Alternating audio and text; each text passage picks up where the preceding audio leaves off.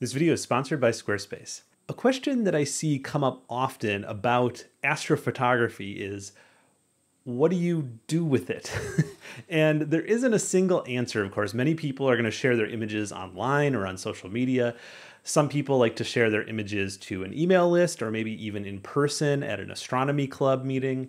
But something interesting I found is that very few of us regularly print out our astrophotos for display on a wall or even framed. And just to back this up, here's the results from an informal poll that I did. As you can see, the majority, about 70%, say they never print their astrophotos. And why is this? Well, I can think of three big reasons. Number one is that our culture is just increasingly online. I'm talking to you right now through YouTube, and my Nebula Photos Patreon community is and mostly an online community. I think online communities are especially common for more obscure hobbies. And even though, you know, astrophotography is getting more and more popular, I'd still say it's a pretty niche hobby. So it makes sense to me that most of our activity, and that also means sharing the images, also happens online and not as much in person. So that could be a reason we don't print as much. And number two is very similar. It's just that as we've moved from film to digital cameras, photo printing in general has become less and less common.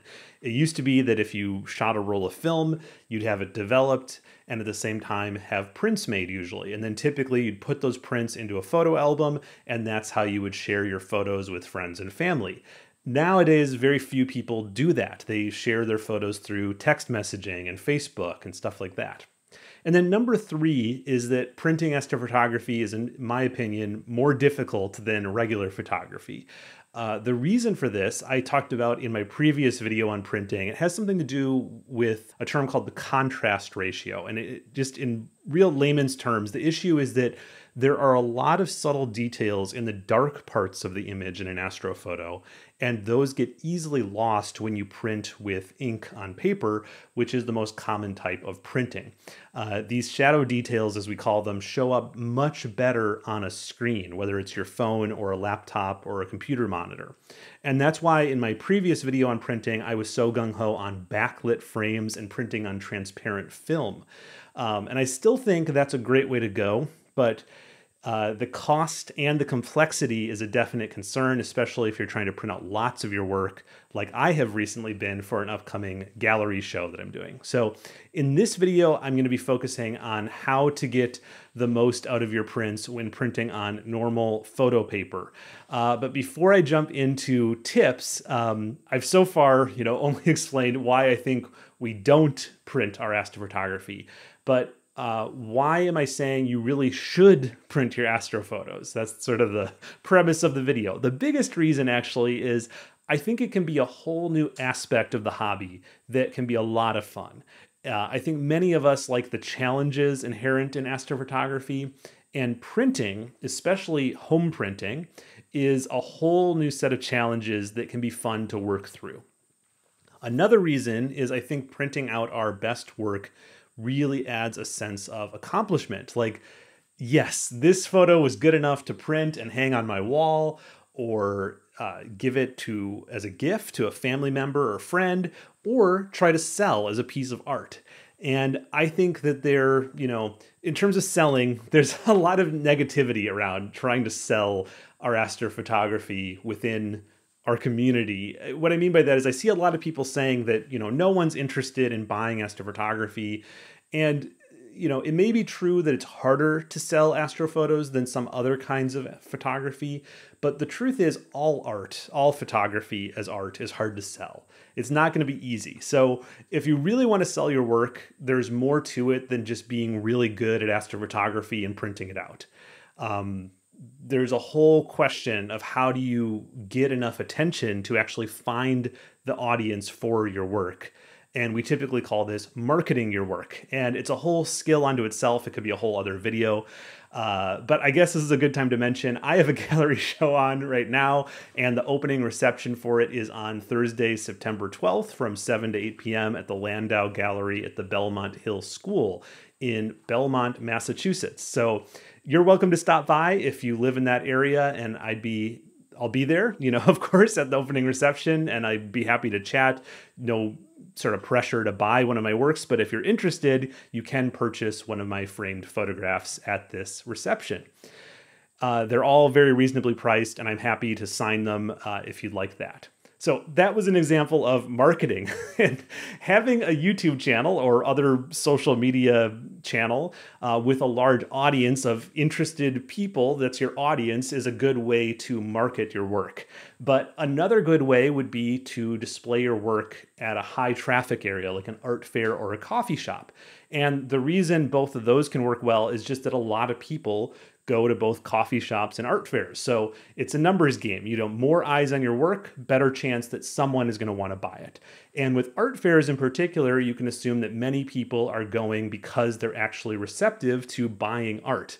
So it can really work out depending on you know the particular fair you're talking about and how skilled you are at selling in person. I don't think that's one of my strengths. I'm better on video than in person but there's all kinds of ways to go about this. Again that's not what this video is about. I just want to sort of make the case for yes you can sell astrophotography but um, i think a lot of people think if they just print it out and put it for sale, it will sell. That's not true. You need to think about marketing and all this other stuff. Okay, so let's now actually get into the nitty gritty of printing astrophotography. I'm going to be talking about home printing because I have a home photo printer. Um, but some of these tips could carry over to commercial printing, meaning sending your work out to a photo lab that does the printing for you in terms of the economics of home printing versus sending your work out to a professional lab, you'll probably be better off not home printing. um, it really only pays off if you print a lot of your work. So if you're really getting into this, I think home printing can be worth it. But most for most people, you're probably going to be better off just sending out your work to a, a lab to get printed. But I will say, if you do want to get into home printing, wait for a good promotion before buying the printer. I got this one, the Canon Pixma Pro 100, which might now be discontinued for under $100 with some nice Canon uh, photo paper included because Canon was running a really good promotion where I got uh, $250 back as a rebate. And I've heard from others that they still run these kinds of promotions, these rebates. Uh, this was a number of years ago. Um, and the reason they do this, uh, that you know, why would they give away a nice photo printer for fifty to hundred dollars? Is that they charge insane prices for the ink cartridges, the refills. So they're fine with basically giving away the printers every so often, even if it because they make that money back on the ink refills. Um, in terms of my favorite papers, this is from Canson. It's in their Canson Infinity line, and it's the Baryta Photographique. I hope I said that right. Baryta Photographique. And uh, another one I really like is this one. This is Canon's paper, and it's their Photo Paper Pro Luster. Okay, and then my software of choice for printing is Adobe Photoshop. And I can't really give advice about any other software for printing because this is the only one that I've ever used for printing even before I was doing astrophotography, I was dabbling into printing. So I've been doing it a number of years. And uh, I'm going to give you sort of, there's a lot that can be said, but I'm going to give you some of my sort of more uh, basic, foolproof tips that will work no matter your situation. So, first thing we're going to do is open up Photoshop. Uh, whatever version you're using is fine. Uh, you're going to make a new document and you can just go over here to the print presets and if you have a paper size that's represented here, uh, you can just click on it and uh, then click create. In my case, uh, A3 plus 13 by 19 inches is not uh, one of the presets here in Photoshop. So I'm just going to enter the measurements manually. 13 inches for the width, and 19 inches for the height. We can leave the resolution at 300 pixels per inch. That's a sort of a standard print resolution. I usually put this on 16 bit. It probably doesn't really matter for printing if you could put it on 8 bit if you want, but I'm going to leave it on 16 bit. For the color profile for now, just leave this on sRGB. Um, we'll, we'll talk more about profiles once we open up the document. Okay, And background contents you want on white. All right, go ahead and click create. Okay, so now we basically have a, a document that represents our paper that we're going to print on. And uh, for this one, uh, we're not going to jump right into printing out a full picture yet. Uh, what we want to do is use this piece of paper and we're going to feed it through the printer a couple times to work out the colors and work out the contrast and work out everything else. This is called test prints. And uh, the way I do it is I actually use the paper that I'm going to use for the final print, so I can get a good idea of how the prof- the uh, paper profile and the printer profile and all these different things are working. But um, to save on paper, not to, so I don't waste paper, what I do is I just print out small versions of my print and then just um, sort of move it over so that I can print on the paper multiple times. You'll see what I mean here in a second. So the first thing we're going to do is go ahead and go File, Place, Embedded, and bring up one of our images that we want to print out. Okay, and what it'll do is it'll take your image and um, fill the, the page with it. That's not what we want to print though. We want to print a much smaller version, something like that. So I just took a corner and made it smaller, and then I'm going to hit the enter key to accept that. And a lot of times, um, to save even more space on the page, I'll crop this in a little bit. Um, so instead of printing out the full image like this, I might Let's just try something like this. You see that we have most of the the highlight, the you know the the brightest highlights, but also the darkest shadows within that selection. So I'm just going to then click on create a layer mask to just crop that down, and then that just saves us a little paper space. Okay, so if you were um, just testing this, you you could just go ahead and print this out and um, for your first test print. If you're printing multiple um, different images in one sort of session, what you can do is keep adding more images. So I can go back to File, Place Embedded. Okay, so for every image that you're wanting to print out, you'll just make a little uh, sample here on the page. Now let's zoom in on these. We haven't we haven't done anything to them yet. These are my final sort of just processed images, how I would like them looking on the screen. But that's going to, of course, be different than how they're going to print out uh, because screens work differently than printouts, uh, especially on paper. Right now, we're viewing this in just a normal RGB uh, mode, but Photoshop has something called proof colors. Um, so proof colors is uh, for sort of visualizing what it will look like more printed. Um, it, it doesn't work perfectly, but it, it does give you a better idea. So to set this up, we're going to go to our proof setup. And if you're just using a very basic uh, printer, you could use the working CMYK mode. Um, but since I'm using, you know, a photo printer where I can use profiles and special papers and all this stuff, we're going to go to Proof Setup Custom. And uh, here, where it says Device to Simulate, we can use these uh, special profiles that I've already downloaded. So uh, these come with the printer, the Canon Pro 100, and then it has all the different Canon papers here. Um, so, and then you'll notice that for each paper, like I'm using this uh, Paper Pro Luster, there's three and then one slash two. Three is lower quality and one slash two is higher quality. So we're going to use the higher quality profile. Uh, it just lays down more ink, I believe. Here in the custom proof condition, we're going to use that profile and um, let's use the uh, this simulate paper color as well just to give us a little bit better idea. We're going to use this black point compensation all this different all these different options. Okay.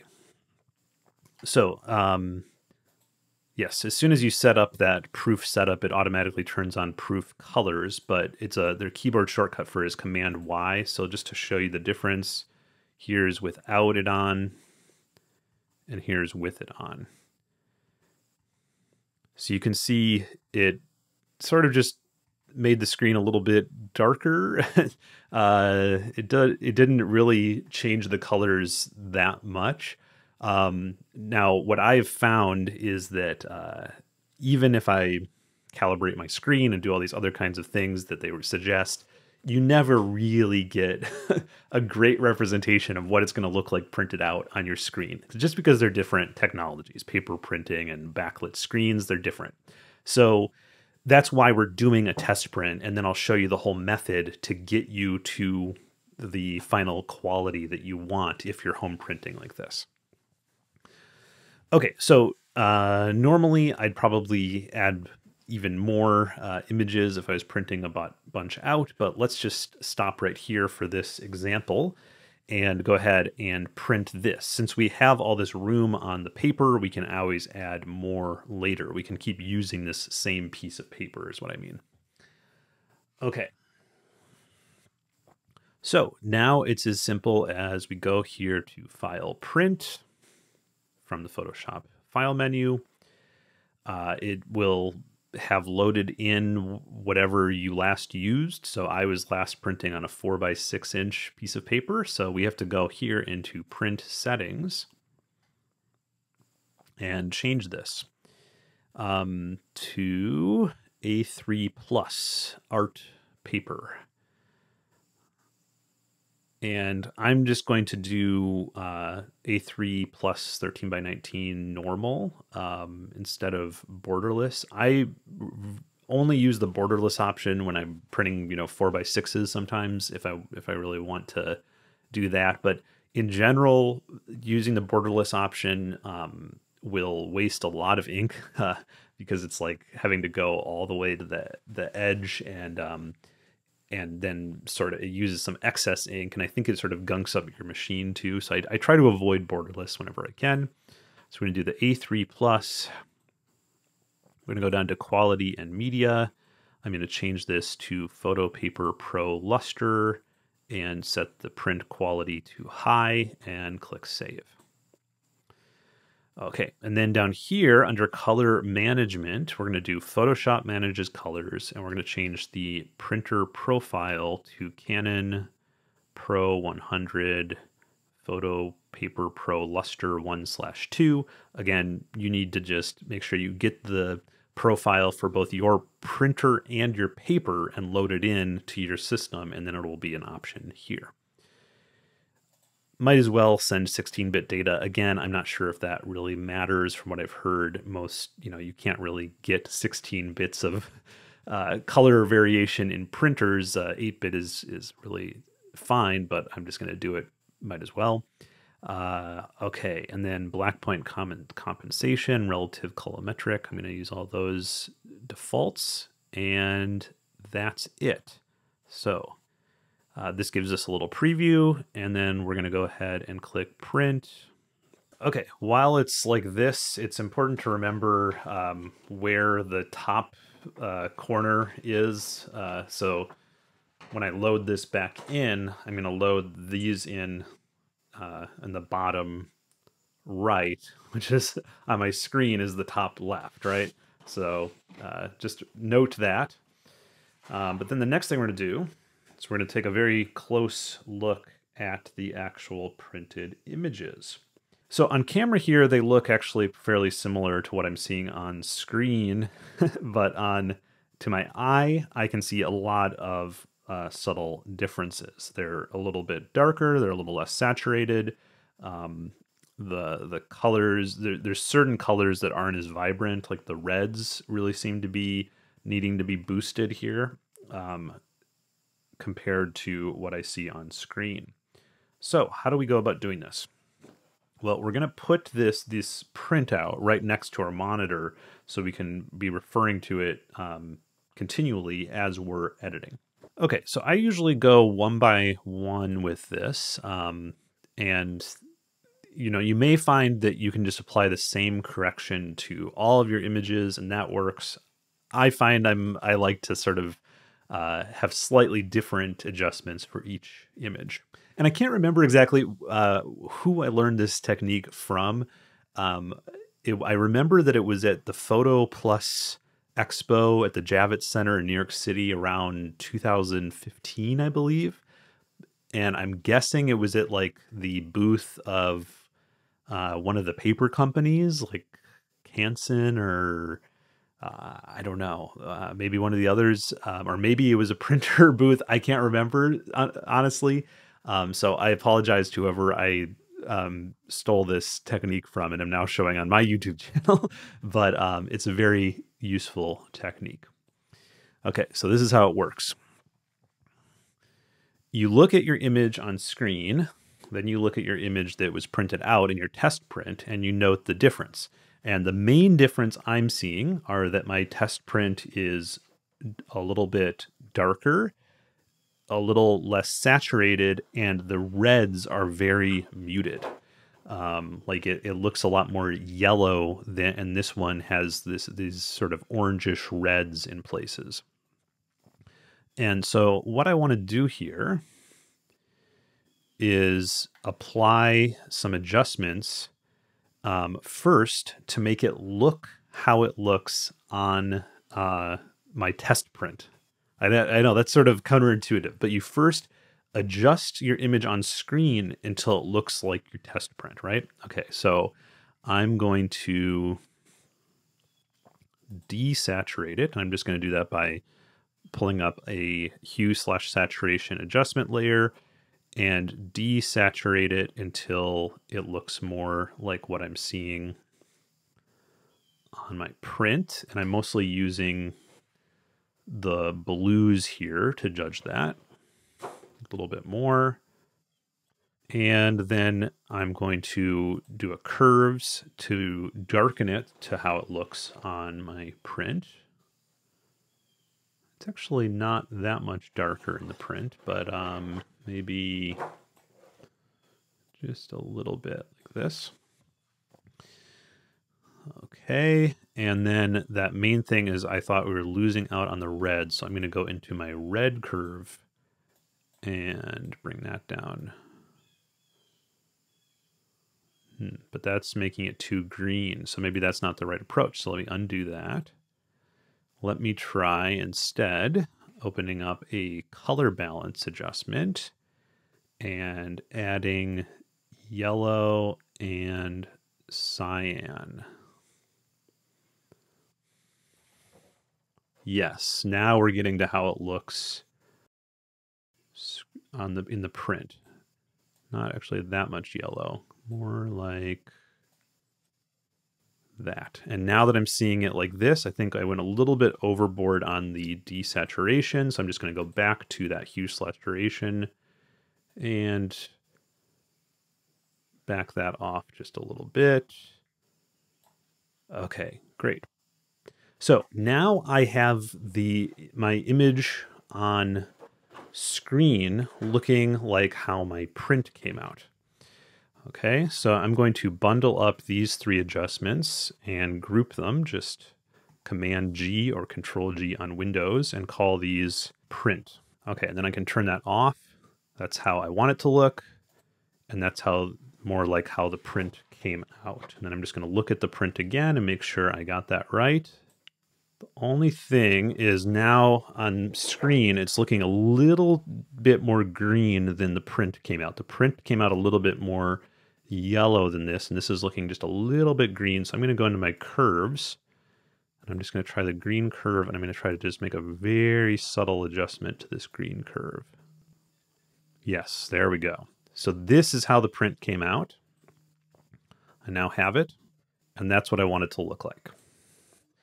Okay, so now what do we do? Now we make a new set of adjustment layers um, to get it back looking to how it looked originally. um, so I'm going to just go back to my adjustment layers. I'm going to pick the hue slash saturation. I'm going to add saturation. I'm going to go to color balance and I'm going to add uh, red and maybe a little magenta.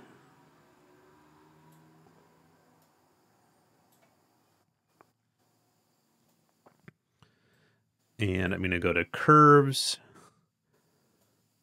and I'm going to brighten it a little bit. Add a little bit more contrast. Okay, and then I'll group those and call these adjustments. Okay, and so what did we do? We went from the original image, we then made it look more how it came out in the test print, and then we added adjustments to get it back looking more like it looked originally. And I tend to go just a little bit past how it looked originally. I go a little bit more punchy with the contrast and things like that. Um, but basically how it looked originally, but just a little bit more exaggerated. And then what you do is you turn off the print uh, layer, the print group. So now it's going to look really punchy, right?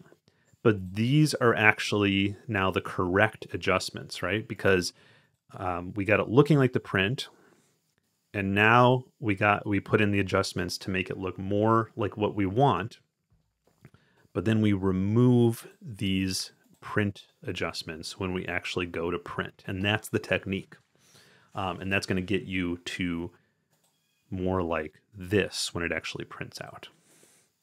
Okay, so turn off the print adjustments. And so the, to me on screen right now, this looks overboard, especially, let me turn off the proof colors. Okay, if I turn off proof colors even more so, that looks just like a little bit too much. But when we print this out, it's going to look more like that because we've already now um, taken into account what what a print does to an image. It, it, it will never have sort of the same amount of uh, saturation and contrast as the screen, especially with astrophotography. So that's why we need to make these adjustments.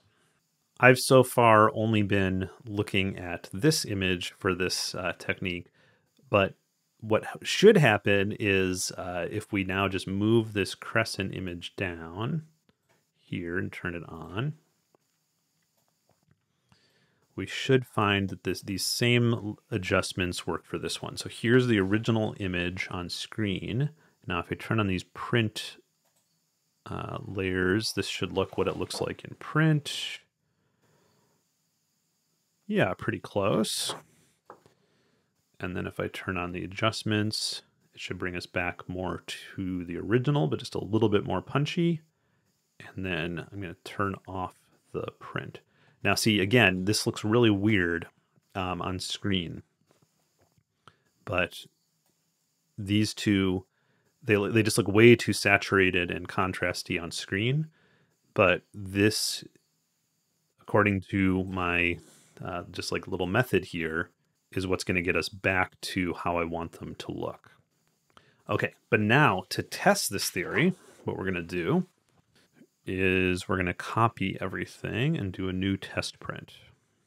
Okay, so I'm going to take these two images right here. I'm going to select both layers and just move these over, holding down the Alt key or Option key like this.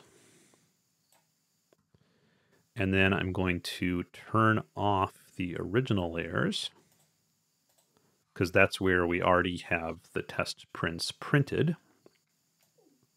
Okay, and then here in my layer stack, I want to make sure that the print uh, adjustment layers are turned off, just turn off the visibility, but that the adjustments are turned on. And now we're ready to print again. So we're just going to put this piece of paper back into the printer in the correct orientation and do another test print. Okay, and then here is what happened. So um, on the left-hand side here are our first two test prints, and then here are our second two test prints. And this is an iterative process, right? So if you if you see something in your next set of test prints that you don't like, you can, of course, uh, try fixing it.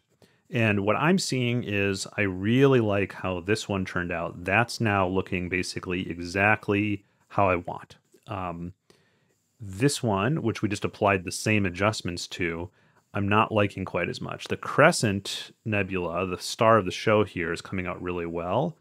But in the shadows, there's a little bit too much magenta. I want it to be a little bit more blue than um, magenta. Um, so uh, I'll keep tinkering with this one. This one's already done after just that first set of adjustments. So that's basically how this goes. You keep just using this big sheet to run your test prints and figure out what adjustments you need to make in Photoshop. And then when you're happy with all of the adjustments after the latest test print, then you can print it out full size.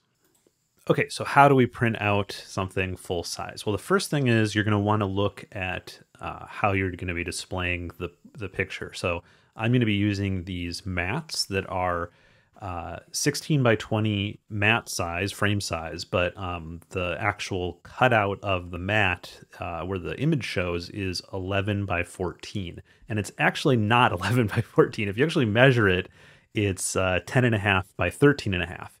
But that is very standard to just call that 11 by 14 because uh, it's it accounting for a quarter inch bleed so that you don't show any paper white um, so I'll explain that more here in a second.